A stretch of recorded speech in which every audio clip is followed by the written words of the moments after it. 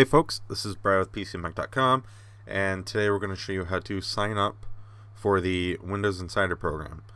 Uh, so to start off, you'll just want to go to insider.windows.com and next you'll want to press the sign in button here, sign in with your Microsoft account, and then you'll want to come back to this page and press the get started button uh, and accept the terms of service. Um, you may have to do that twice. Uh, I had to do it twice for it to register, which was uh, sort of weird, but it works after you do it a second time for sure.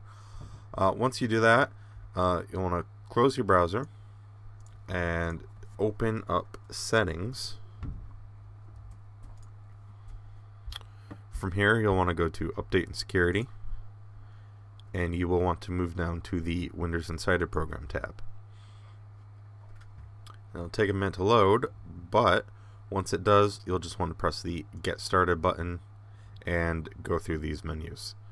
Uh, if that button is grayed out, you can uh, go back to the main settings menu, uh, head into Privacy, down to Feedback and Diagnostics, and you'll need to make sure uh, under Diagnostic and Usage Data, this is selected to either Full or Enhanced.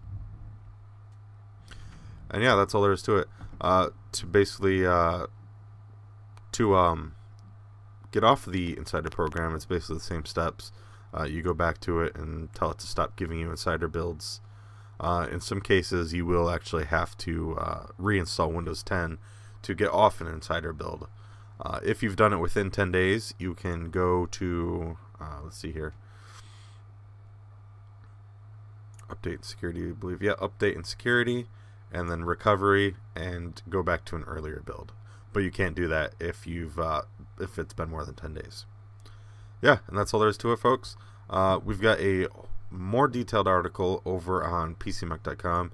Uh, if you follow the link in the description below, you can head over to that.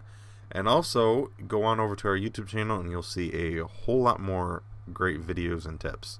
Uh, once again, I've been Brad PCMech.com, and until next time.